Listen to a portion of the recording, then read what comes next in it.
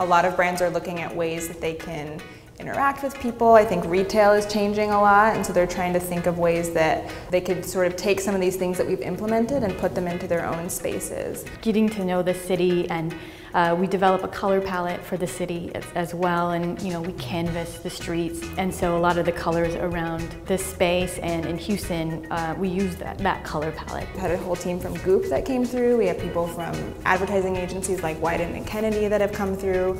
We've had whole teams from different tech companies like Facebook and LinkedIn that have brought their whole creative teams through. I think people are really just curious about um, who's doing this, who's doing this well, and how they can take some of the things that we've implemented here and, and take them back either to the brands that they're representing or working with or to their own companies. We're not the circus just rolling into the town with our you know flatbed trucks and setting up backdrops. You know, we really um, become a part of that community and uh, we try to have our reach kind of extend beyond the walls of, of the Color Factory as well. And so we have these partnerships with nonprofits where, you know, we're doing events in our space, we're putting up murals, children's playgrounds in Houston. And so, you know, it really does extend beyond the four walls or the many walls of Color Factory.